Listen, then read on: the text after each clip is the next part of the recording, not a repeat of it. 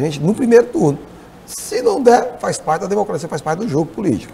Agora, o senhor chegou a lançar o vereador Lobão lá na Câmara. A Lívia trouxe essa informação para a gente, né? Que Lobão é, é, foi lançado pelo senhor lá na casa. O que, que isso significa, é, vereador? O que, que o senhor, como estratégia ali, quer lançando já um nome antes do partido de Fábio Novo decidir alguma coisa? Não, eu digo, eu disse e digo e afirmo que, por exemplo, o que couber do partido em relação à chapa majoritária, o PT não vai interferir. Uhum. Chegar aqui e dizer, olha, vai ser o MDB e vai ser fulano de tal. Aí não, aí não é democracia, quem vai decidir é o partido. Agora, fui perguntado em relação ao, Lobão e os vereadores. Eu disse, olha, seria de bom tamanho. O Lobão é um grande quadro do, do MDB.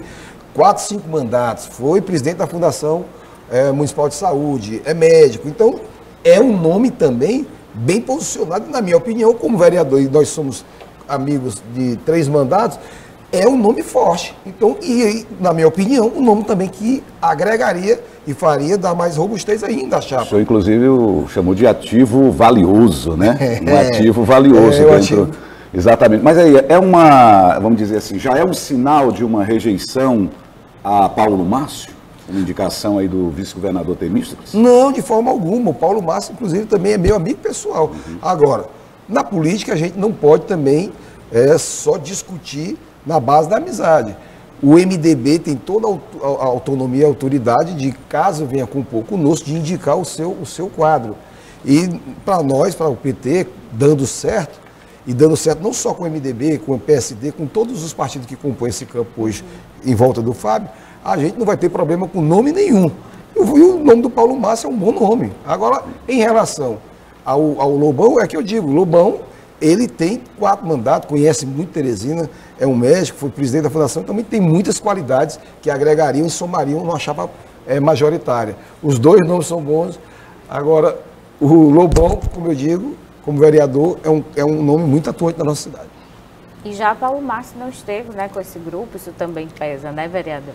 Quero agradecer, então, a presença aqui na no, nossa bancada. Muito obrigada, vereador Dudu. Um bom recesso para o senhor. A Lívia não vai deixar o senhor descansar, não mesmo. mas eu digo bom recesso. Feliz Natal para o senhor. Obrigada. Aproveitar aqui a audiência e desejar um Feliz Natal, um próspero Ano Novo para todo o planeta, que a gente pacifique aquela guerra lá em Israel, que a gente pacifique ali na Rússia e que o povo possa ter um, um Natal de luz e de prosperidade. E 2024 com certeza será melhor do que 2023. Obrigada, Amém. vereador Dudu.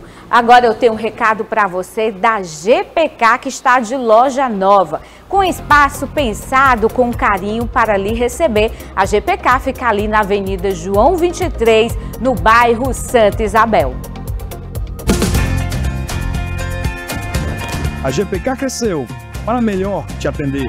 Com um espaço amplo, apostamos em uma variedade de marcas e modelos. Atendimento personalizado e uma equipe especializada quando o assunto é compra e venda de veículos. Convido você para conhecer a nossa nova loja e realizar a sua próxima conquista.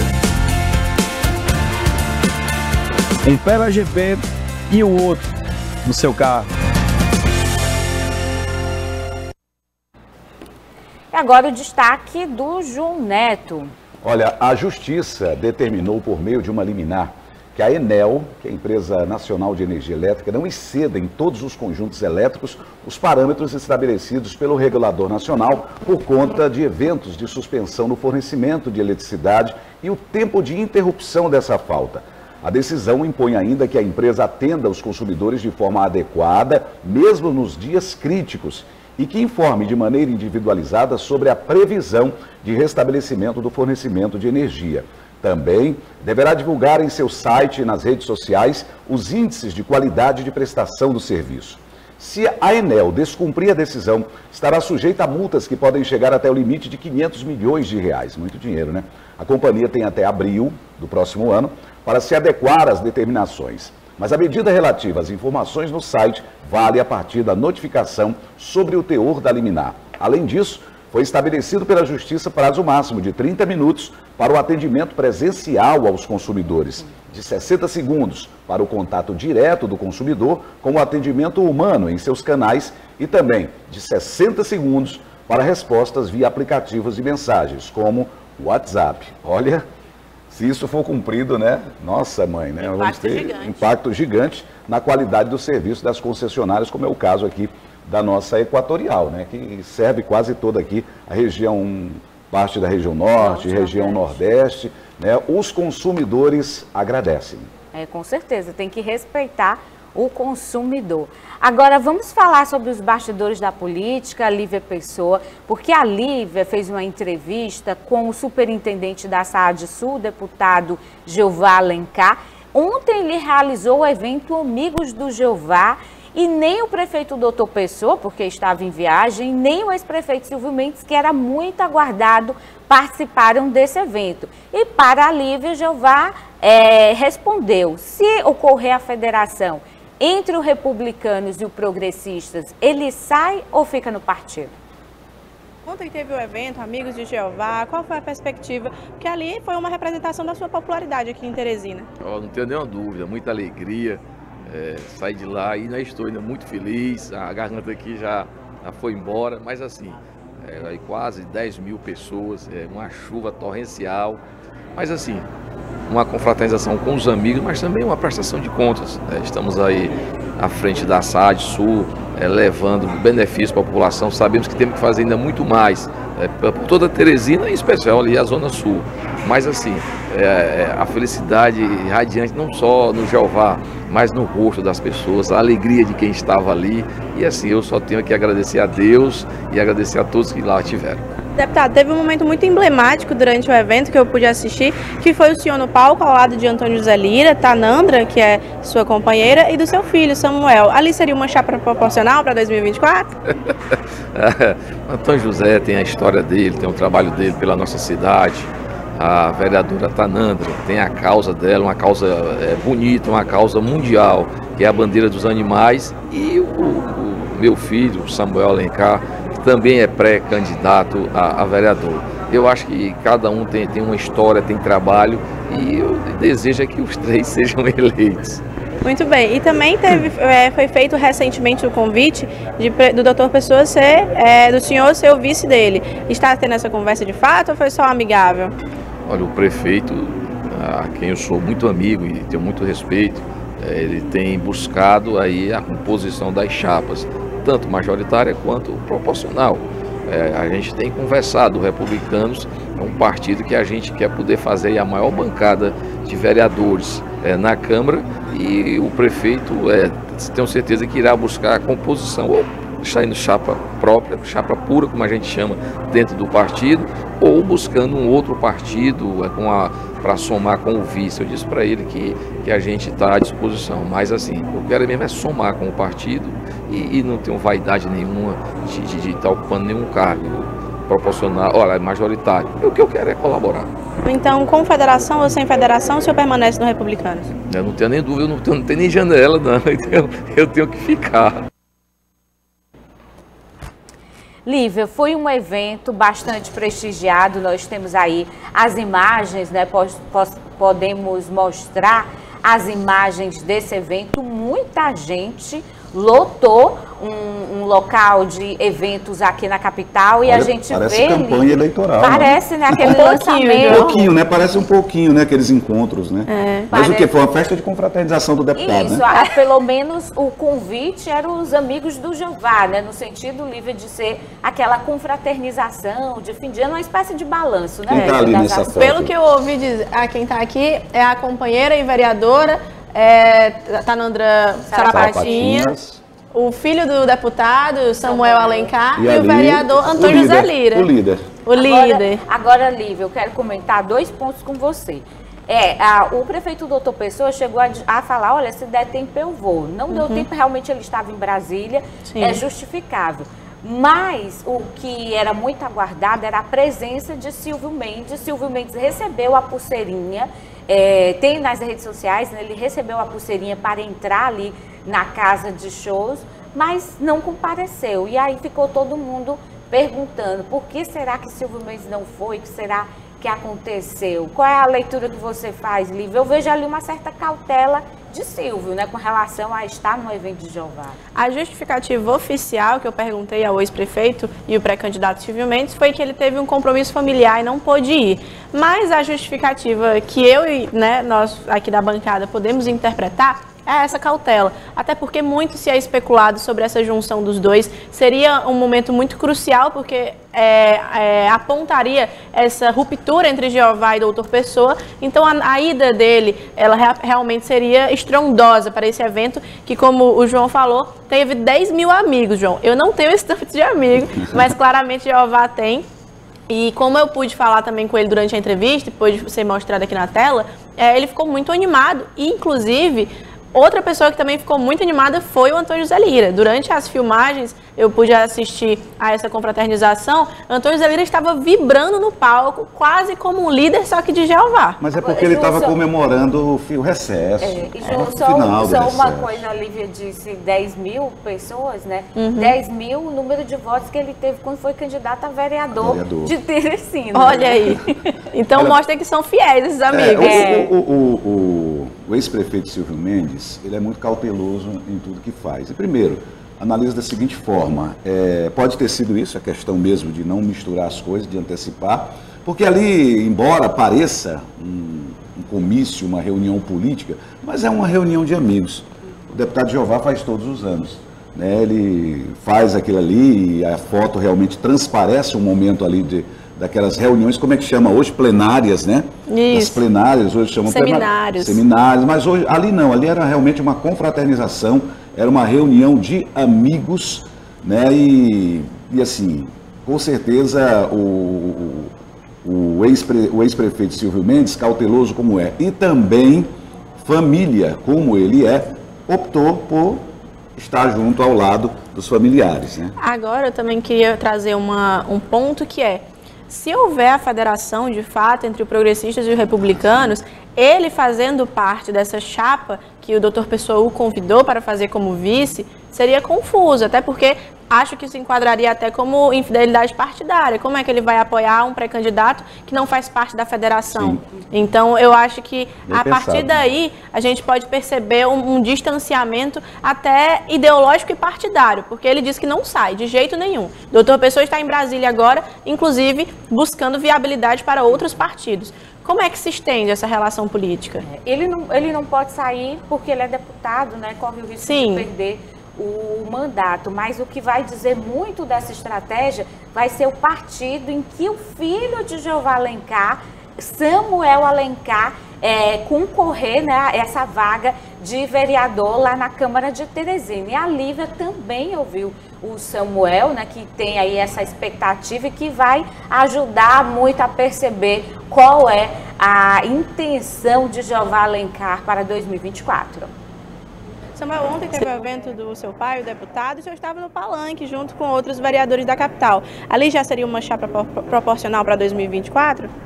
Olha, até agora ainda não tem nada definido. Eu sou um soldado do Partido Republicanos e eu sigo o meu partido. Mas, né, vamos ver próximo ano aí o que, é que vai ter. Tem muita água para rolar. Mas já está tendo conversa com outros vereadores a respeito de como é que vai ser formada a chapa, qual será o futuro do, do partido, do Republicanos? Não, algumas conversas estão tendo, mas mais para frente a gente dirá alguma coisa. Lívio Samuel já está pegando o, o, jeito dos políticos falarem, né? Sou um soldado do partido, todo político e, diz isso. E as respostas pela tangente, né? Nada direto, né? É, um, é um republicano, é um é. republicano. Então acredito que vai ser uma candidatura tranquila, até porque tem a cauda eleitoral do pai dele, então acho que vai ser tranquila. É, e para Jeová, Lívia, nessa estratégia do, do Samuel, né, ser candidato, é importante que ele fique ali no Republicanos, até porque ele não vai ser aceito naqueles outros partidos que você traz sempre Sim. aqui, né? Falando dos médios e dos bodinhos, dos bodinhos. Né? como diz Antônio José Lira. Ele ali, livre, não seria aceito, né? Não, porque vem justamente com esse peso de Jeová Alencar, também tem Tanandra, que também puxa voto. Sim. Então, eu acho que, acho não, tenho certeza que ele não será por esses outros partidos. E a Tanandra fica no, PS, no PRD. Isso, né? no PRD. O João Antônio José Lira teve uma conversa de tentar puxar ela para o PRTB, mas ela vai ficar no PRD mesmo. É isso, daqui a pouco a Lívia e o João seguem com a política, porque agora eu quero saber como é que vai ser o seu Natal. Vai receber a família toda em casa? Então aproveite que no Paraíba tem ofertas imperdíveis de eletro e móveis para deixar sua casa completa neste fim de ano. Presentão de Natal Paraíba. Sua casa completa para o fim de ano. Fogão quatro bocas, R$ 59,90 mensais. Lavadora 20 quilos, R$ 69,90 mensais. Refrigerador 306 litros, R$ 269,90 mensais. Tudo isso e muito mais em 10 vezes sem juros nos cartões de crédito. Com entrega grátis. Corra para a loja, para o site e para o aplicativo. De Natal, Natal Paraíba. Presentão de Natal. Lívia tem uma foto aqui que repercutiu muito nas redes sociais. A Lívia trouxe essa informação para a gente, a gente já está vendo aí. O ex-governador Zé Filho e o ex-governador e agora ministro Wellington Dias. Lívia, por que, que essa foto repercutiu tanto aí nos bastidores? Era uma reunião administrativa, mas claro, tem política nessa história, Lívia. Isso, Lídia. E claro que para é, incorporar essa, essa matéria, eu fui falar com os dois lados, falei com o presidente da FIEP, Zé Filho Moraes Souza, perguntei o que foi discutido. Ele, claro, falou que foi uma discussão institucional, porque foi de fato entre o Ministério do Desenvolvimento Social, juntamente com a FIEP, nessa proposta de capacitar e profissionalizar as pessoas envolvidas no cadastro único e no Bolsa Família. Mas perguntei aos dois também a respeito da política. Zé Filho falou que foi uma conversa conversa amigável para traçar estratégias, mas nada firme, nada é, definitivo, absoluto. E eu questionei se era possível ele ir para a base de Rafael Fonteles e disputar Parnaíba. Ele disse que na política tudo é possível. Wellington Dias, também sempre diplomático, falou que a conversa foi apenas institucional e que o diálogo político ele existe porque Parnaíba é uma cidade muito importante. Então ele não descarta ali essa possibilidade de apoiar a base lá em Parnaíba, a base do governador? Exatamente. Ele falou que na política tudo é possível e podemos ver que há uma aproximação com o Wellington Dias, com o Florentino Neto, tem uma conversa ali com Mão Santa. Será que vai haver essa união? E aí, acima de tudo, o Wellington, tanto o Wellington como o ex-governador Zé Filho, o ministro Wellington, governador, é, ex-governador Zé Filho, afirmaram que são amigos, né, que conversam sempre, que trocam figurinhas sempre e que esse diálogo realmente foi institucional, como a Lívia trouxe. É, vamos para o recado da Contrata Serviços, que há mais de duas décadas essa empresa do grupo Contrata tem sido referência em Teresina, oferecendo serviços de limpeza, portaria, vigilância para empresas e condomínios. De limpeza e vigilância para sua empresa. Conheça a Contracta Serviços, uma empresa que atua há mais de 20 anos, prestando serviços de limpeza, portaria e vigilância em condomínios, empresas, clínicas e hospitais, com preços justos e profissionais de qualidade. Somos a melhor solução de serviços para o seu negócio. Dispomos de equipamentos de limpeza profissional e uma equipe de suporte 24 horas. Ah, e caso precise, podemos incorporar parte da sua equipe efetiva. Solicite um orçamento. Contracta Serviços. O nosso negócio é ser humano.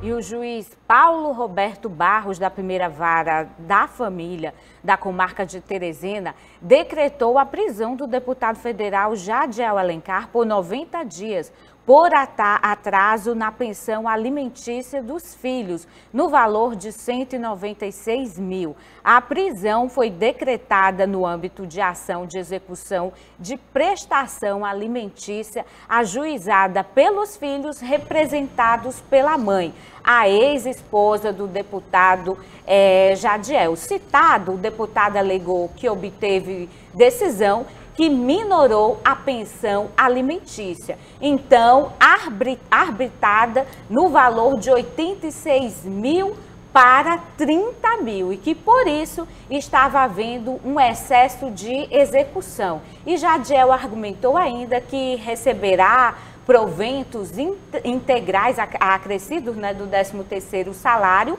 é hoje, né, na, na sexta-feira, comprometendo-se a quitar o débito. Agora, João Neto, eu vou pedir aqui, Lívia, para o João Neto, que ele Sim. entende mais da área do que nós duas.